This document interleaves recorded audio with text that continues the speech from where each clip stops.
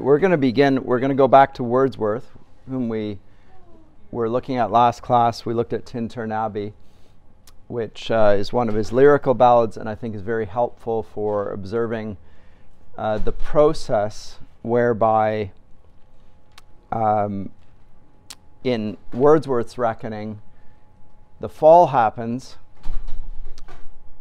uh, but also the means whereby we can be born again and the way in which thereby um, he proposes a new way of approaching the world should be um, followed and a movement of human society against the Enlightenment's uh, rationalization and uh, its uh, commodification of all life and its reductionism to just the mere material physical world and its exploitation of nature and its regarding of uh, human beings as so much property and so forth, like we saw in Jonathan Swift's A Modest Proposal, right? So Wordsworth is, wants a, a, a, response to that, and he does through it through a spiritual approach. He se- senses a spirit in himself, in nature, uh, and it's there almost in the background. I talked about that, how he uses uh, his poetry to draw the reader into perceiving something that he, he or she can't perceive. So there's a he, references to silence, to the uh, the ideas that go behind the words, and even a sense of of, of a deeper uh, inclusion than we normally think of by these terms. So it's it's pulling us in and helping us or trying to convince us to see something that we simply can't see. Uh, and he sees that particularly in the presence of nature. It's not there in the cities. The cities have, are, are noisy and loud, and as we've seen already, or I've suggested, um, marked by civilization. And civilization is actually a sign of the fall, just like Blake did in his London. It's marked by chartered streets and the mind forged manacles, which he hears everywhere. Uh, Wordsworth likewise sees a sort of a renovation possibility in uh, the innocence of the natural world. But the paradox is that we can't just go back to the beginning. We can't just, you know, down tools, get rid of uh, all manner of uh, technology or innovation and, and go back to nature. You know, take our clothes off and run outside, and there we go. Well, everything will be fine. He, he's not so naive about that, and he doesn't propose that either. It's not going back to nature in that sense. It's going back to nature in an imaginative fashion, con- contemplating on what nature means, is what he means. And that's through the act of the imagination. And the poet will lead us in this then an imaginative recovery of lost innocence, which is a part of himself. And it's the best part of himself, it's the part that's not civilized. And that nature which he sees in himself and sees in the world around him, he proposes as a means of a, a religious movement. The question is, and I already answered the question, whether this is Christian or not. And I suggested it's not. It's, it's pantheism or panentheism. There's, a, there's God in everything. It's in him, it's in the air, it's in the water, it's in the trees, it's, it's everywhere. It's all inclusive. Everything's, God is in everything. It sounds very affirmative, it sounds very positive. What does it entail, though? We're going to go to C.S. Lewis on this. I think he is, is helpful. This is from his book, uh, Mere Christianity, book two, What Christians Believe. He starts talking here. I don't know if you've read this or not, um, but he's helpful on this point. Uh, let me blow this up a little bit so you can actually see it.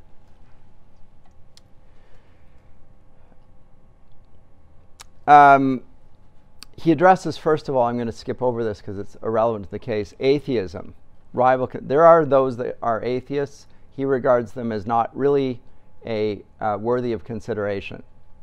Not even worthy of consideration. They're not particularly um, um, interesting. Their arguments are not particularly powerful, and there aren't that many of them. There are more in our day but I've noticed that their arguments are often so appallingly bad and weak that you wonder uh, how this came about, other than the general degeneration of intellect which we see all around us. But Lewis is dealing with another group. Uh, those who believe in God can be divided according to the sort of God they believe in. And this is the point here, because Wordsworth does believe in God. Even uh, sometimes calls God God. But he's also associated God with all of these other things, with pretty much everything for that matter. So he, Lewis observes there are two very different ideas on this subject. One of them is the idea that he is beyond good and evil. He's beyond all categories of good and evil. Nietzsche, that's Nietzsche's phrase, right? We humans call one thing good and another thing bad. But according to some people, that's merely our human point of view. These people would say that the wiser you become, the less you would want to call anything good or, or bad. And the more dearly you would see uh, that everything is good in one way and bad in another, and that nothing could have been different, consequently, these people think that long before we get anywhere near the divine point of view, the distinction between good and bad is gone. The closer we get to God, the more we can see that the, that the distinctions over which, let's say, wars are fought, this is good, this is bad, they're good, they're evil. If we come closer to a divine point of view, we're not going to appeal to those things at all. We'll just see the unity of all things. And that's what Wordsworth is leaning towards, right? And it's very much the spirit of our age as well. And that's on point here. So, consequently, these people think that long before you've got anywhere near the divine point of view, the distinction would have disappeared altogether.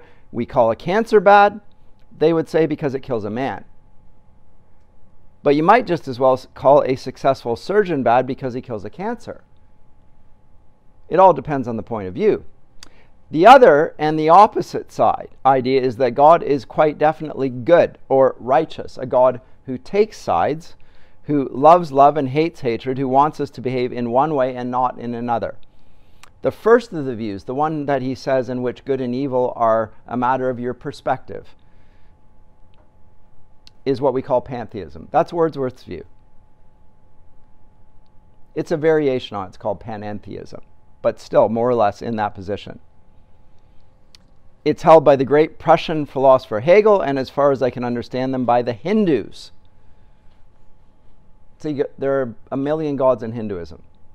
Everything can be divinized. And that's because everything is um, a manifestation of godness, whether we call it good or evil. That's a matter of perspective anyway. The other is the notion of God that he says is held by the Jews, the Mohammedans, and the Christians. The Mohammedans, uh, his phrase for the Muslims a monotheistic God, calls this good, this evil. Um, I'm not going to spend any more time on that, but he identifies there what I have been arguing about Wordsworth.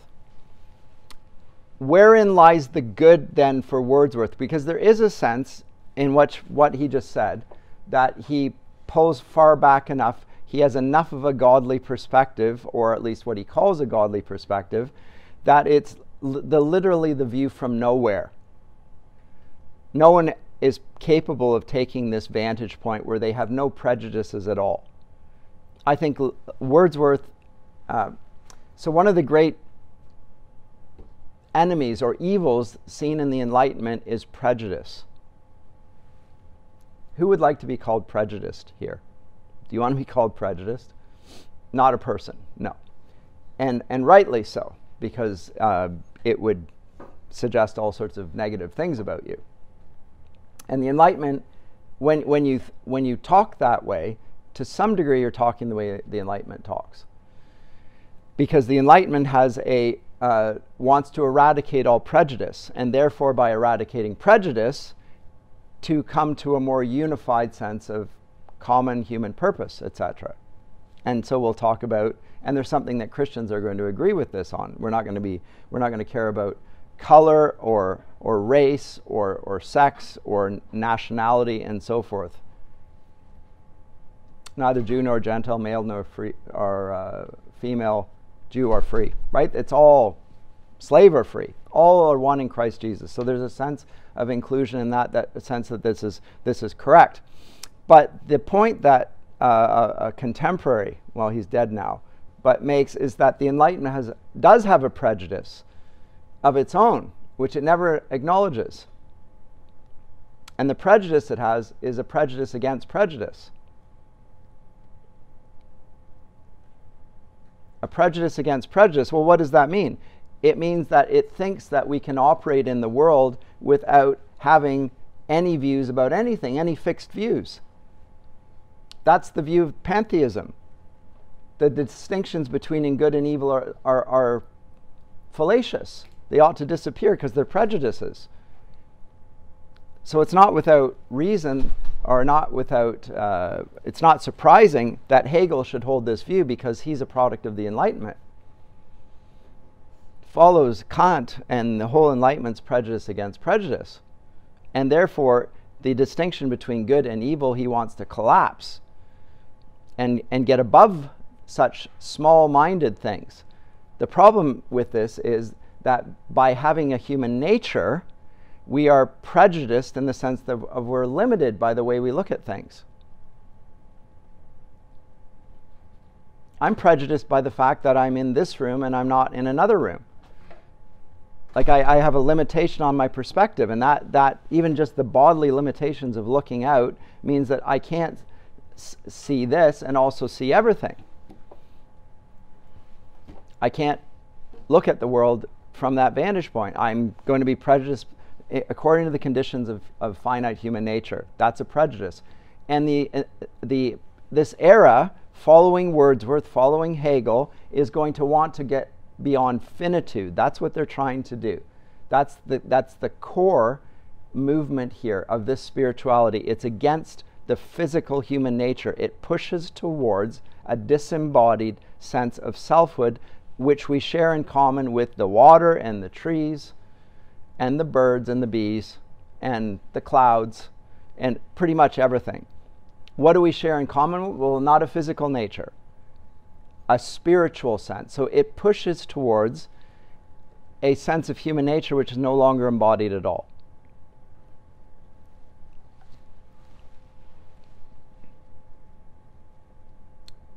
Does that make sense?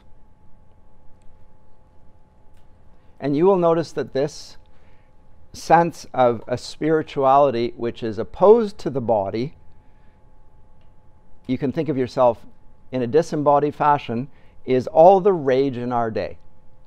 In uh, the notion of gender identity, uh, in the notion of uh, the dark green environmental movement, which will talk about desecrating the natural world and carbon footprints and so forth, and want to see us as part of nature, but uh, as a as a problem within the realm of nature, as if we were there was no distinction between humanity and the rest of nature, except that we're poisoning it.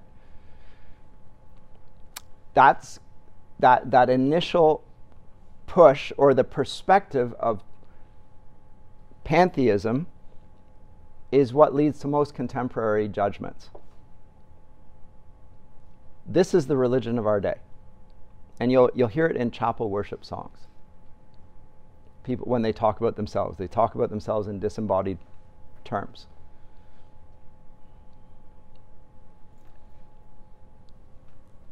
I won't be so cruel as to go through contemporary lyrics and demonstrate it to you, but I could easily do that.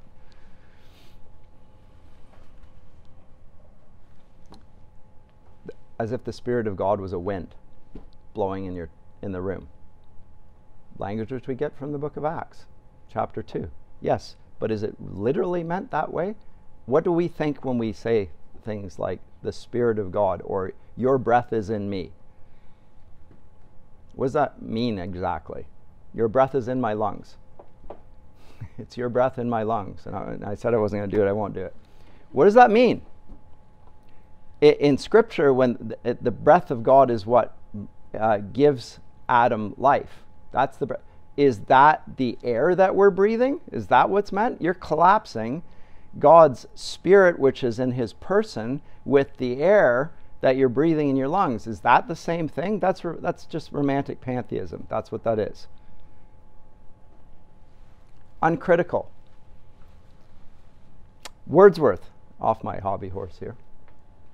Wordsworth, Intimations of Immortality. Actually, you know what? I'm going to look at the, uh, I mentioned the uh, prospectus to the excursion. I just wanted to show you that Wordsworth's uh, also thinking in epic terms. We looked at Milton's epic. Uh, this is a later book, a later work than the, in, the Immortality Ode, which we'll spend the most of the time on. And in this, he explicitly refers to Milton's Paradise Lost and the uh, agenda of Paradise Lost.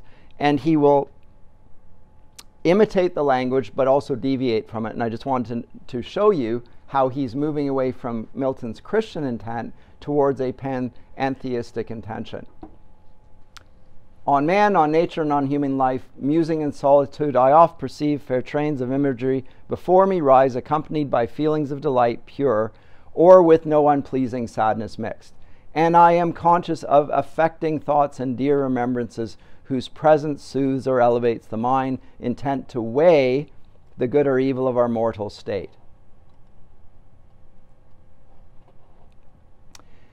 So it's going to weigh the. So now it's the spirit of the poet who's going to determine good and evil. And wherein lies the good and wherein lies the evil? Is it not, has it changed? Has good and evil changed in the created order? Apparently, it can. We're going to take a more spiritual perspective on such matters. The soul is an impulse to herself. So, to these emotions, whencesoever they come, whether from breath of outward circumstance or from the soul, an impulse to herself.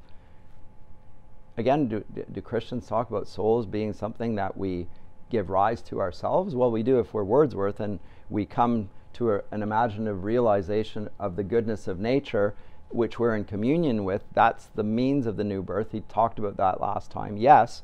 But in Christian theology, the soul is what a human being is already created. You don't become a soul, you are a soul. And we're an embodied soul at that. But Wordsworth's conception of, of human nature is not particularly embodied because it is something that's going to be, uh, would be an impediment from seeing himself in the tree. I have a body that means I'm not a tree. I can't identify with a tree, like literally, intellectually, mentally identify with a tree or the water. Anyway, of truth, of grandeur, beauty, love, and hope, and melancholy fear subdued by faith, of blessed consolations in distress, of moral strength and intellectual power, of the individual mind that keeps her own inviolate retirement, subject there of, to conscience only, and the law supreme of that intelligence which govern all, I sing, fit audience let me find, though few. Where's he getting this from? Milton, Book 9, Paradise Lost. That, la- that last line, the quotation, directly from Milton's Paradise Lost fit audience, let me find though few. I'm not going to click on this in case it takes me away from this. So prayed, more gaining than he asked, the bard in holiest mood. Urania, I shall need thy guidance or a greater muse. So now he appeals to a muse, just like you would do in an epic. And what muse does he appeal to? That of astronomy. The heavens. Let me appeal to the heavenly perspective. Is he going to appeal? Is that the same thing as Milton's vision? Well, let's see. Thy guidance, or a greater muse of such, descend to earth or dwell in highest heaven, for I must dread on shadowy ground, must sink deep, and aloft descending breathe in worlds to which the heaven of heavens is but a veil. All strength, all terror, single or in bands that ever was put forth in personal form, we're going to get beyond personal form. We're not going to think of God as He. We're not going to think of Him as the Father. Let's talk about God in terms that are impersonal. Like we can talk about a, a power or a force. Let's not personalize it.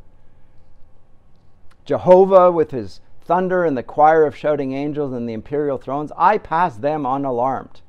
Not chaos, not the darkest pit of lowest Erebus, nor aught of blinder vacancy scooped out by help of dreams can breathe such awe and fall as fall upon us when we look into our minds, into the mind of man, my haunt and the main region of my song.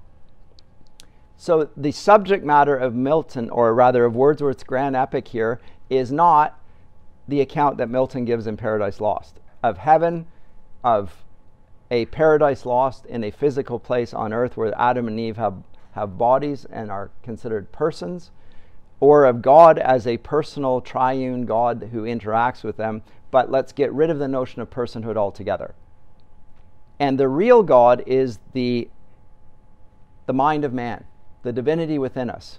This becomes the, the new realm of spirituality. It's the whole basis for the modern discipline of psychology and sociology and anthropology. Anthropology just casts this vision back in time. The human sciences. It's an impersonal notion of human nature. It's a conceptualized, it's a rational. It's to think of human nature in abstraction with a literally a view from no, nowhere. That phrase I'm getting from Thomas Nagel, by the way. A view from no, the view from nowhere. That's the Enlightenment's view. Nobody has ever seen the world this way. That's because it's not seen with human eyes at all. It's outside space and time. That's what Wordsworth is doing with us here. And it fits with panentheism. It seems idyllic, it seems utopian. It is utopian. It's trying to bring, bring about a heaven on earth which cannot be finite and cannot be embodied. And he'll go on and on here about this, um, but let me skip over this. Um, but he's echoing here uh, Milton's Paradise Lost in various places. It's useful just to see it as a sort of a manifesto.